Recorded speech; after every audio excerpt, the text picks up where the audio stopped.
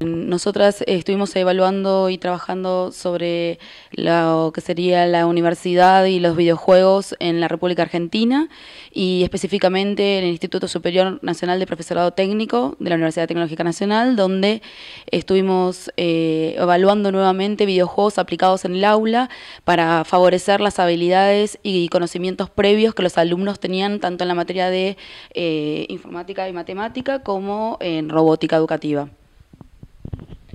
Nosotras consideramos que estos tipos de estos eventos eh, fomentan el intercambio con otros colegas y también a su vez eh, nos incrementan la posibilidad de crear puentes eh, con otras universidades y otros colegas